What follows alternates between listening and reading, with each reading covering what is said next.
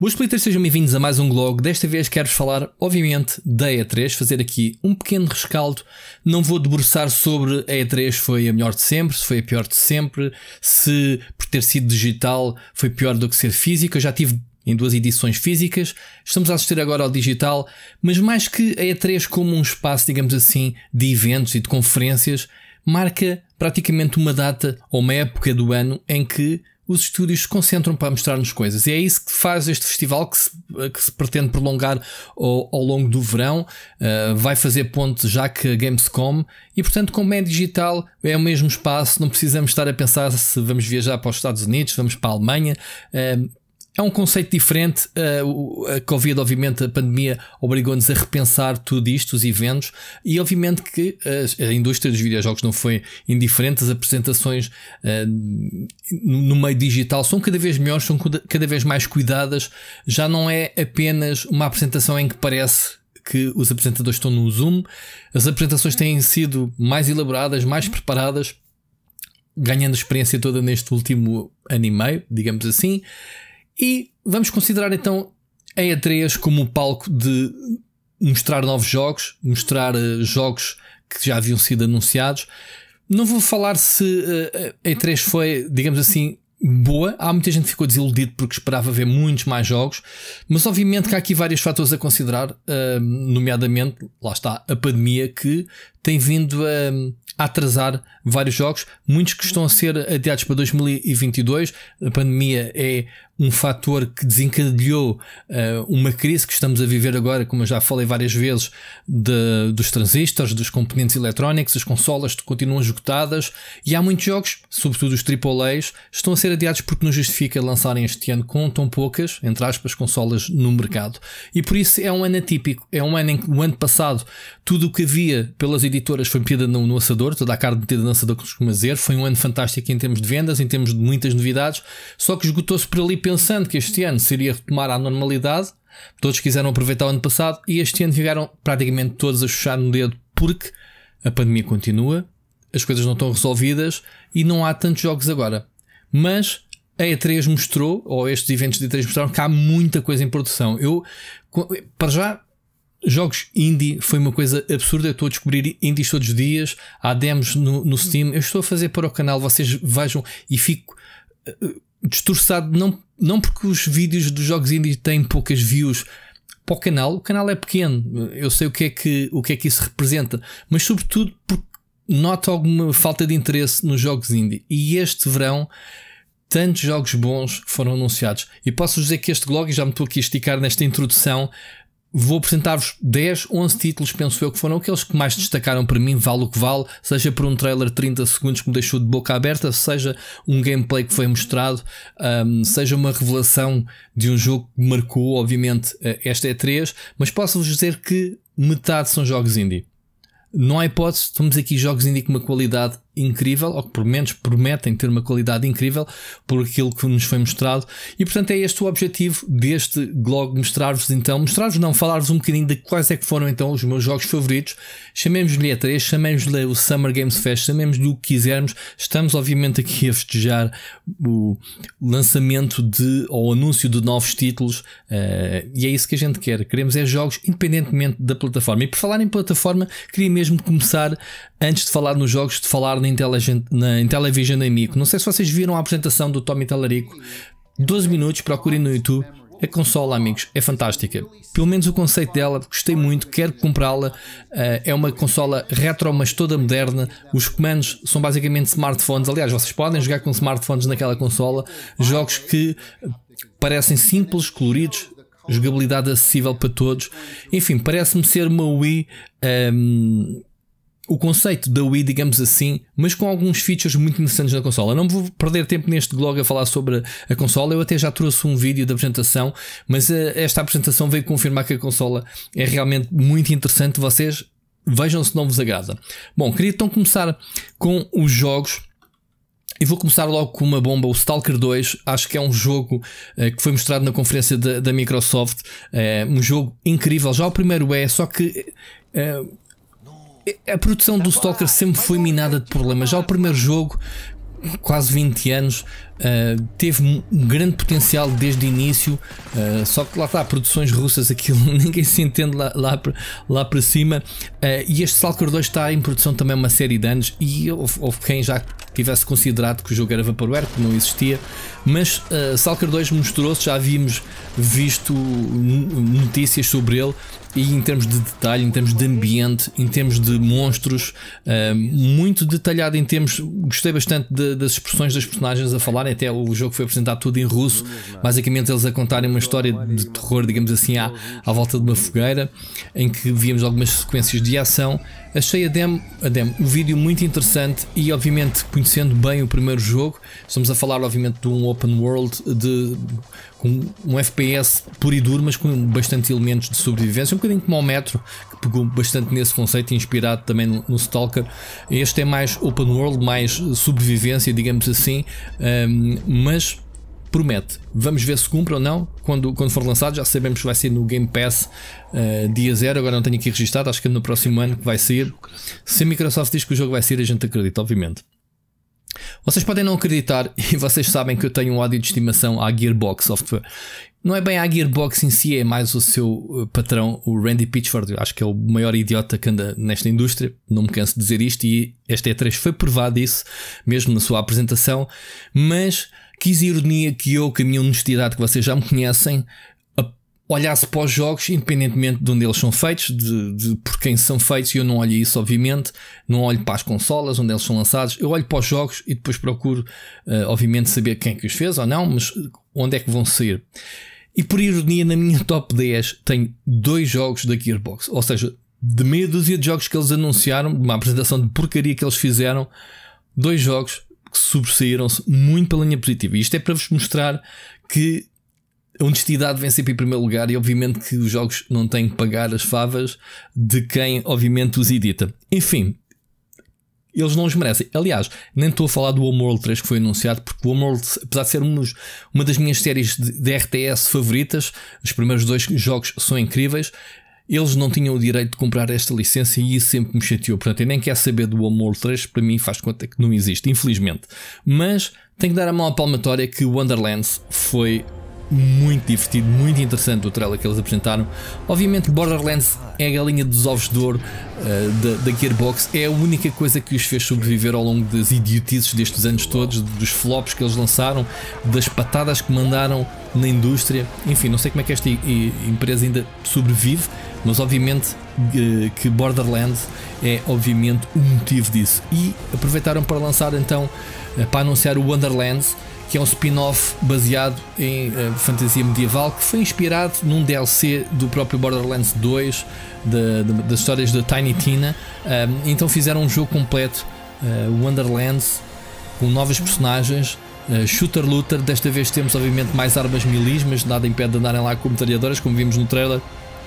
O humor, as personagens deslocadas e obviamente as animações de cel shading transformam obviamente o jogo Gostei bastante daquilo que vi no, no trailer, já repeti de ver o, o, trailer duas ou três vezes e parece-me bastante bem. Portanto, Gearbox, parabéns, uh, tens a minha atenção. Se eu gosto, gosto, obviamente, de Borderlands, uh, promete bastante este Wonderlands. Já digo qual é que é o segundo título mais para a frente. Forza Horizon 5. Gostei bastante da apresentação, obviamente, da Microsoft. Poderíamos tirar meia dúzia de jogos ou mais, muito interessantes mas também, obviamente, para termos aqui alguma variedade. Uh, acho que o Forza Horizon 5 uh, é capaz de ter o jogo uh, mais polido do catálogo deles que mostraram agora. Provavelmente deve estar a, prestes a ser alguma coisa jogável. Eles normalmente lançam uma demo, uma coisa parecida. Gostei bastante do ambiente México. Eles dizem, obviamente, que capturaram cada casinha como deve ser, através de dados gráficos, etc independentemente se a casa existe ou não no sítio onde aparece no jogo, não importa. Agora cap capturaram, obviamente, todo o ambiente do México e até fizeram umas parcerias com, com um grafite famoso de não sei se é mexicano, penso que sim, para terem então grafites reais que estão pintados, alguns em, em fachadas de, de edifícios no México, trazerem também para o jogo. Depois, obviamente, que Forza Horizon é Forza Horizon, é um jogo que há de ser excelente pelo seu open world, o seu motor gráfico detalhadíssimo, bonito, uh, e obviamente temos as viaturas uh, licenciadas. a condição, se tiver como os anteriores, também não há de ser difícil de nos dar então um Forza Horizon Next Gen como deve ser. Quero muito jogar este jogo. Depois, obviamente, Elden Ring foi o talvez o único jogo que toda a gente diz é 3 valeu pelo Elden Ring, apesar de não se terem mostrado nada senão um bom trailer, um bom trailer uh, cinematográfico, mas com alguns elementos que se notam que foram retirados do, do jogo, algumas, alguns combates, e conhecendo obviamente a From Software, conhecemos obviamente os traços da série Souls no jogo. Eu sou péssimo a jogar Souls, eu não acabo quase nenhum jogo, eu desisto, os jogos ganham sempre, mas não quer dizer que eu não gosto dos jogos, ou gosto sobretudo de ver jogar. Acho que os jogos são sempre muito bem feitos. Gostava de ter tempo, que acho que é mesmo tempo a palavra uh, correta de dedicação a estes jogos, porque são obviamente jogos muito bons. Estou curioso, obviamente, para saber que, qual é que vai ser o impacto de, da história escrita pelo George R. R. Martin uh, de Game of Thrones. Qual é que vai ser o impacto narrativo, digamos assim, direto? Qual vai ser o impacto deste autor naquilo que é o conceito de matar personagens? Obviamente, estamos aqui a juntar o útil ao agradável. A From Software faz o que quer dos jogadores uh, para matar, obviamente, os jogadores com os seus uh, monstros, as suas aberrações. Estou curioso para saber o que é que vai ser aqui de, desta parceria. Outro jogo que eu gostei bastante um, ehm, e apesar de eu não ter visto íntegra o Nintendo Direct, obviamente, uh, Metroid Dread é exatamente o tipo de Metroid que eu gosto. Eu não gosto muito do Metroid Prime, daqueles da primeira pessoa, mas gosto muito da essência do, dos Metroid. Side-scrolling 2D. Aliás, eu ando a passar uma fase em que estou a adorar jogos de side-scrolling 2D. Estou outra vez a regressar em força a dezenas de jogos neste momento de side-scrolling 2D. Obviamente, este é é um Metroid, digamos assim. É um Metroid 5, é um jogo que, te, que tem vindo a ser adiado desde o tempo da, da, DS. Uh, tive a ler uma entrevista recentemente que o autor simplesmente meteu o jogo na prateleira porque na altura o software não, não permitia correr. E ao que eu li, este é um conceito de jogo que já vimos noutros títulos, já vimos, por exemplo, no Bioshock 2, Alien Isolation, em que a personagem tem um inimigo muito forte sempre atrás dela e que é invencível e que nós não podemos uh, combater com ele se não fugir. E portanto, o conceito num jogo 2D, como é o Metroid, uh, parece-me muito bem. Depois, outra coisa muito interessante é que o jogo foi entregue à Mercury Steam, que eu acho que é um prémio muito bom. Eles que sabem fazer, obviamente, uh, jogos de Metroidvania, eles fizeram o Castlevania Lords of Shadow, os dois muito bons. Depois fizeram um Castlevania 2D também espetacular, uh, com o mesmo conceito de Metroid. Fizeram depois o remake, o Metroid Samus Returns. Uh, excelente, portanto eles sabem fazer Metroid, ganharam agora o prémio de fazer então este Metroid Dread ou Metroid 5, como quiserem chamar, mas o, o título oficial é Metroid Dread. E obviamente estou bastante interessado em jogar este jogo, está aí quase a chegar. Sem qualquer eh, necessidade de apresentações, Age of Empire 4 é um título que se calhar está a passar a muitos despercebido, mas foi anunciado na, na Microsoft. Mais um jogo para convencer o pessoal do PC a assinar o Game Pass, um exclusivo para PC. E o Age of Empires 4, como vocês sabem, tem alguns lá atrás uma edição colecionador do 3 e é uh, absolutamente incrível. A par de StarCraft, a par de Warcraft e a par de Command Conquer, provavelmente a Jovem Empires a série é das que eu mais gosto em termos de RTS. E portanto é isso. Muito curioso para jogar Age of Empires 4 uh, quando for lançado. Espero que tenha boas campanhas, porque eu gosto acima de tudo de, de bons objetivos, boas missões, em vez de ser sempre aquela base de repetição, construir a base, atacar a base dos inimigos, passar de missão. Espero que tenha coisas inteligentes, tenha uma campanha uh, bem feita, uh, até porque o jogo está a ser produzido pela Relic. Sim, a Relic não está a fazer nada do Homeworld, como é óbvio, mas a, a Relic Entertainment está a fazer o Age of Empires 4. Eles têm muita, muita, muita experiência em RTS, não sendo a Ensemble, que é o estúdio original do Age of Empires, que foi já desmantelado há muitos anos atrás pela Microsoft. Temos então a Relic que fez, por exemplo, Warhammer 40k, Dawn of War, vários títulos da série, uh, e então que são muito bons e então tem muita experiência por fazer este Age of Empires 4. Um jogo que também se calhar muita gente não conhecia, mas eu já o acompanho aqui há uns anos e foi anunciado também uh, como está vivo na conferência da Microsoft. Mais um jogo russo, mais um jogo um FPS com um ambiente pós-apocalíptico, chama-se Atomic Heart. É um jogo com um grafismo lindíssimo, é um jogo indie, é um jogo de um estúdio russo que eu nem sei como é que eles se chamam. E basicamente tem elementos, é um FPS com elementos de RPG. Um, ehm, tem um, um, combate baseado em, em armas, tanto melee como de, de fogo completamente improvisadas, pegarem objetos banais para utilizarem como armas. Uh, é um jogo sobre sucata, é como se estivéssemos perdidos em Pripyat e tivéssemos de sobreviver e pegarmos naquilo que houvesse à mão. Então, para, para sobreviver, há muitos robôs, há muita coisa para. Para, para, para fugirmos e pronto, estou muito interessado neste jogo, já o conhecia, ainda bem que ele está vivo e ia recomendar-se obviamente aqui por vocês e vejam o, o trailer, pelo menos Atomic Heart, gostei bastante. Outro jogo que teve em várias apresentações nada mais do que 12 minutes ou 12 minutos de que está a ser perfeito pelo Luís António. É aquela dúvida se é um jogo português ou não, não interessa. Vamos considerar que é o nosso jogo português. Esteve em grande então nesta E3. Esteve na conferência da Xbox, onde foi então revelado que o jogo sai em agosto para o Game Pass. Uh, vai ser ainda cima gratuito para todos jogarem. Foi também, um, foi também mostrado em mais um ou outro evento dedicado a indies. Portanto, excelente. O 12 minutes. Uh, é um jogo que nos coloca numa perspectiva aérea totalmente passada no apartamento do, do protagonista, de um casal que recebe um visitante, um polícia, eh, em que há combate, mata a esposa e a personagem rebobina outra vez 12 minutos, ciclos de 12 minutos, e ficamos com o reconhecimento do que se passou no ciclo anterior para podermos aplicar no próximo. Quem viu filmes como O Dia da Marmota, uh, como Age of Tomorrow, com Tom Cruise, sei lá, jogos como, uh, jogos como Legend of Zelda, uh, Majora's Mask, sei lá, vários jogos em que a mecânica do, do repete outra vez o, o, conceito de sabermos o que é que vai acontecer. Filmes como o Memento, que até anda para trás. Enfim, muito interessante. 12 Minutes. espero muito jogar este jogo em gosto. Outro título indie, lá está, indie, indie, indie. Só tenho falado em jogos indie agora. O Harold Hollywood não confundir com medicamento um, ou com a pomada para, para, para, o rabinho dos bebés. Hollywood é mesmo assim. Era Hollywood é um, é uma, um jogo de plataformas, um, plataformas de side-scrolling, lá está, mas totalmente produzido, grafismo e personagens em stop motion, portanto parece uh, de plasticina, digamos assim. Está com uma arte incrível. Não sei de nada do jogo, não, não deu para perceber bem. Houve muito diálogo, muitas cutscenes e acho que eles quiseram mesmo sobressair essa parte mais cinematográfica. O jogo a mim fez-me lembrar, sei lá, séries de animação como o Thunderbirds, obviamente. Uh, o aspecto de ficção científica me pareceu bastante uh, ir por aí. Portanto, não sei mais sobre o jogo, mas chamou-me bastante a atenção. Acho que não só a mim, mas muita gente ficou então entusiasmada em ver este, este Harold Hollywood. O segundo jogo então da Gearbox que eu tenho aqui na minha lista, e só, e só faltam mais dois jogos, é então o Tribes of Midgard.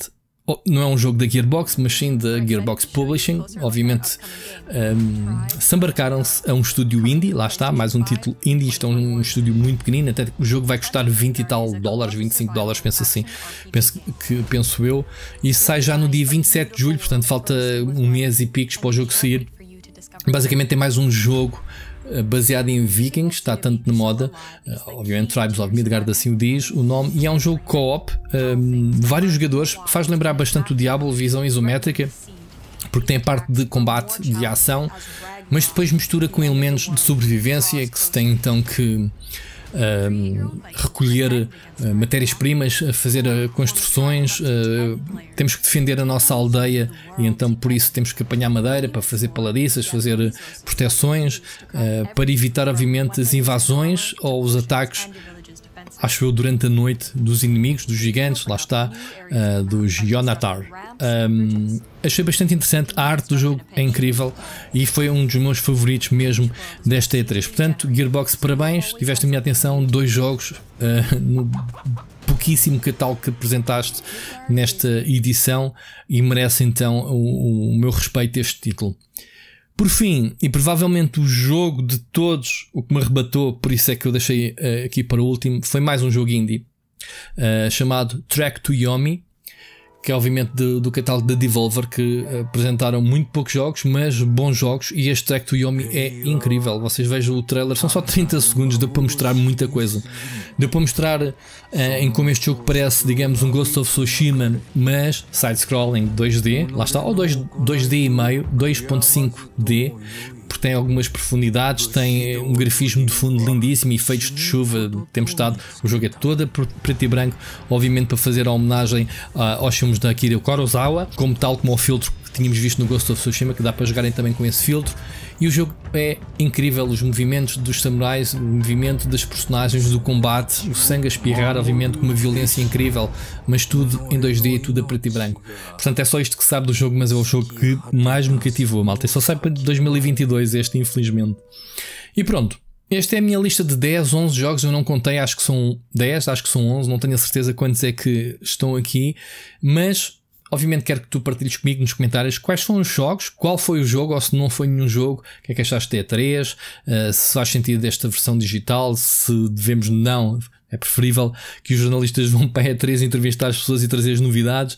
Eu acho que este é o formato um, ehm, que se adequa muito bem a esta indústria, portanto, e vermos jogos novos trailers de dezenas ou centenas de jogos neste verão foi um luxo.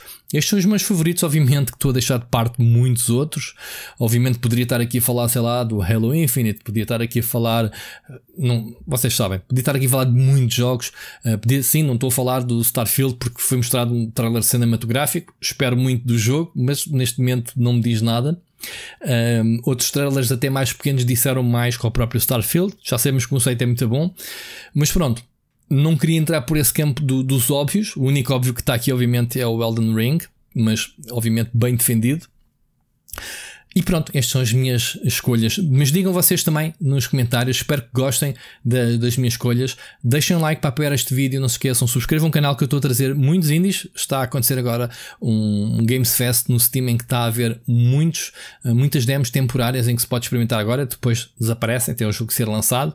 E portanto estou a tentar aproveitar de fazer gameplays do máximo de jogos que eu puder trazer. Obviamente estou a escolher os melhores. Mas digam então nos comentários o que é que vocês acharam. Obrigado então por assistirem e vemos no próximo vídeo. Um grande abraço.